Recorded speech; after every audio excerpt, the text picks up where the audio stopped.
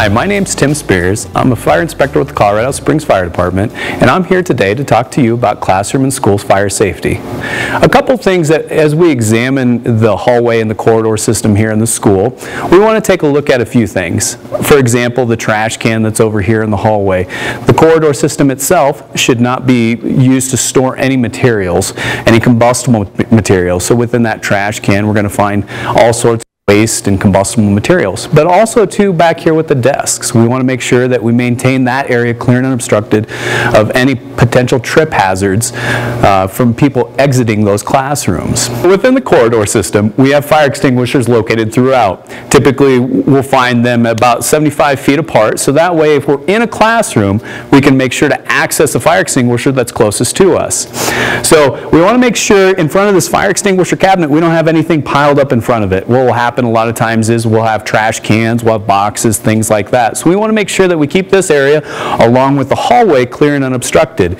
We also too want to make sure that we can access that fire extinguisher cabinet. A lot of times these doors will get bent or will be missing the handles. So we want to ensure that we can actually access that fire extinguisher in case there is an emergency. So we see here in this vestibule, this exit vestibule, that we see these areas being used for storage many times. Uh, for example, we've got this cart here. Uh, this cart does two things. One, it blocks the pull station back behind this cart, but then also two, it blocks this exit door. So it's important that we maintain, just like the corridor system, um, just like the classroom exit doors, that we maintain this exit door clear and unobstructed uh, because we want to be able to access that pull station and this exit door in case there's an emergency. So standing here at the exit door for the library area, we want to ensure that we keep our exit doors clear and obstructed. Uh, we see very often and very frequently that we have various things that are placed in front of those doors. So for example, we have the exit sign here, but we've got a, a cart with rolled paper, and then we have an audio-visual cart placed in front of the exit door. So it's important that we keep these doorways clear and unobstructed for full and instant use in case there is an emergency.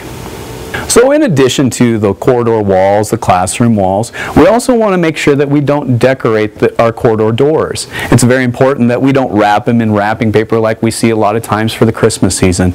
We also want to make sure too that we don't obstruct that door um, doorway so that way people can get in and out in case there is an emergency because a lot of times these decorations will get pinched within the doorway and then prevent that door from closing and latching properly. So it's important that we keep these clear and we don't decorate these doors so again, we don't actually spread that fire any further. And speaking of the Christmas holiday season, we want to ensure that if we do use Christmas lights or holiday lights, that we only use them for temporary lighting. Uh, the code only allows those lights to be up for 90 days. So once that season is done, we need to ensure that we take those down. we see very often and very frequently that we leave those lights up throughout, this, throughout the year. So it's important that we don't leave them up for any longer than 90 days. In addition to making sure that we maintain our corridor doors clear and unobstructed, our exit doors and things like that, we also want to make sure that we don't block our corridor doors open. It's important that we don't block these doors open because these doors do a great job keeping compartmentalizing fire and then keeping the fire within the classroom or within the area that it started in. So it's important that we don't block these doors open. As we can see here, we've got a trash can. We see that many times, blocking doors open. We also too have a door wedge down here. It's important that we don't utilize those door wedges. Those can be also be another safety hazard. But also too up here in the door jamb, many times we'll find these door wedges in those door jambs. And then what it does, if that door, somebody try, attempts to close that door, what will happen is they'll ruin the door jamb and so then that door doesn't close and latch properly. So we want to ensure that we don't block these doors open with these type of devices. So as that door shuts, we want to make sure that it latches in place because that latching mechanism will help to compartmentalize that fire. And we don't want that pro those products of combustion, the smoke, the heat, the gas, to affect our exiting system. We want to make sure that this is our protective means of egress. And we don't want that, those products of combustion to affect the people exiting the building. So earlier we talked about the things on the corridor wall. As we can see, this, this wall definitely exceeds the 20% requirement. So it's important that we keep these walls limited to that 20% because we don't want that fire to spread from one area of the building to another based on the things that we decorate on the wall. So we can see another problem with excessive decoration when we exceed that 20%, and that is obstructing our fire alarm pull station. As we can see here, we've got this paper that's been placed around this pull station. So it does a great job obscuring that pull station. so we need to ensure that we keep these areas clear and unobstructed so that way if there is a fire, people exiting the building or even exiting this classroom behind me can pull this pull station to alert the occupants of the fire. In addition to the artwork that we find in the corridors, teaching materials that we find on classroom walls, we also find decorations due to the holiday season. For example, we've got the spider web that's over here off to my left. Um, very nice, but also very flammable and very combustible. Many times we'll see teachers and students want to hang things from the sprinkler heads, um, especially that type of spider web material. And then off to the right we have a, uh, a vine that goes up the pillar, which is made out of com uh, construction paper. And so another very good combustible material that will help promote that spread of that fire across that surface of that pillar. But also, too, we want to examine, we want to take a look at those, those classroom walls. For example, here we have a piece of uh, rolled paper that has been placed on the wall and been used to decorate for the Halloween season. So we want to ensure that in addition to that 20% that we, we want to limit to the corridor walls, we also want to do the same thing with the classroom walls. It's very important that we limit those decorations so that way we don't promote that spread of the fire from other areas of the building to other portions of that classroom or that corridor system earlier, as we were in the corridor, we, we discussed the fire extinguishers and ensuring that we keep these keep the area in front of those fire extinguishers clear and unobstructed. This is a very good example of items that are piled up in front of that fire extinguisher that prevent the occupant from acquiring it in case there is an emergency. We also see how this bracket that's used to help hold that fire extinguisher in place and prevent it from being damaged from falling off the bracket, it's been broken and it's not securing that fire extinguisher. So it's very important that we keep this area clear and unobstructed, but we also too maintain that fire extinguisher, maintain that bracket and that cabinet to prevent that fire extinguisher from being damaged. Here in the uh, computer area, we find a surge protector. The surge protector is located right next to this printer. We need to ensure that we don't plug a surge protector into another surge protector. We see very frequently how we don't have enough outlets. And so to be able to accommodate the, the more computers or the more technology needs that we need to put in place, we have these surge protectors. And so we have surge protectors that are plugged into other surge protectors. So it's very important that we don't do that. And also, too, that we don't plug that surge protector into an extension cord. Uh, the code also requires that the surge protectors be UL listed. They have to be listed in accordance with a testing laboratory. So here on this surge protector, we'll find that UL listing on the bottom of that surge protector. So we need to ensure that it has that. Also, too, it's got the surge suppression or a circuit breaker built into the surge protector. We can see how this has a lighted on-off switch. When this light goes out on that on-off switch, it's probably about time that we need to change that surge protector because that circuit breaker within that surge protector has gone bad. So it's important that we make sure to keep an eye on that and change it whenever necessary. So remember, never plug a surge protector into another surge protector, but also to never use an extension cord with a surge protector. Ensure that they're UL listed and they have this lighted on off switch so that way you know when you need to replace it.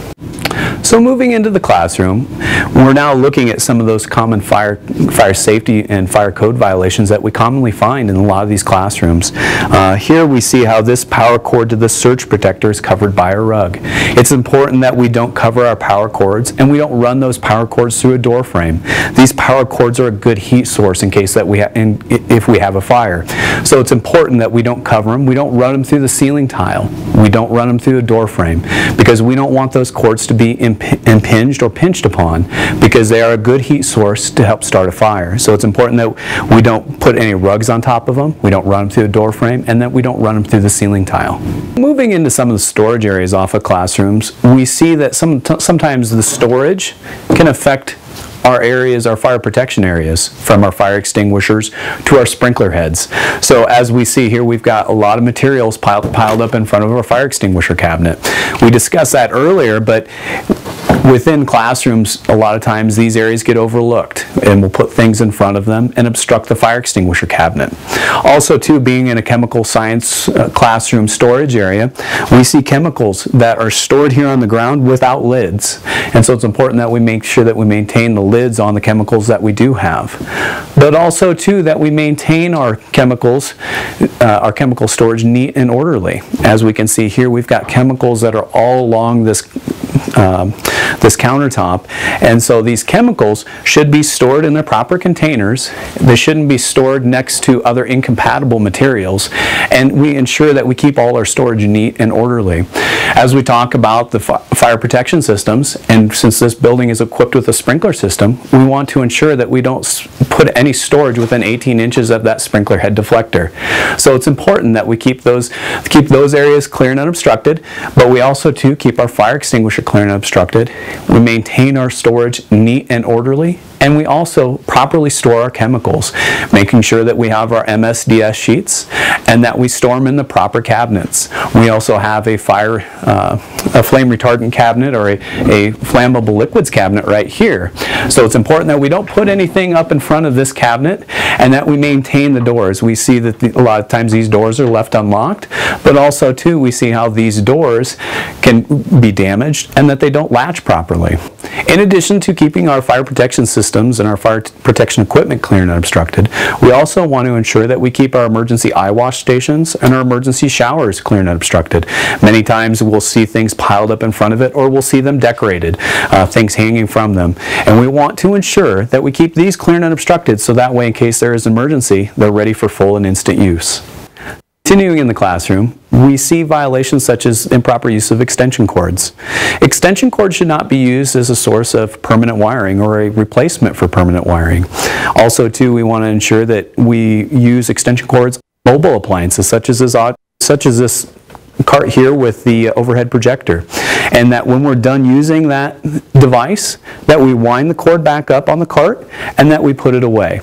Uh, we see a lot of times that these devices are left in place and attached to this extension cord. Speaking of extension cords, we have one here that's being used for another device that we find up on the desk. And so it's important that we don't use these extension cords as a substitute for permanent wiring. Uh, it's important that we use them only on portable appliances and that we put them away when we're done using them. We also see how this extension cord here is plugged into this power strip. This is not necessarily an example of a surge protector. So this would be another thing that we would want to take a look at. Uh, all this is doing is just adding more outlets to this outlet here. So it's important that if we're going to use a device like this, we use one that has that built-in surge suppression in it. And that too, we're not plugging this extension cord into that surge protector, that power strip. We need to eliminate those extension cords. Those or extension cords are only used for portable appliances and only used for temporary means.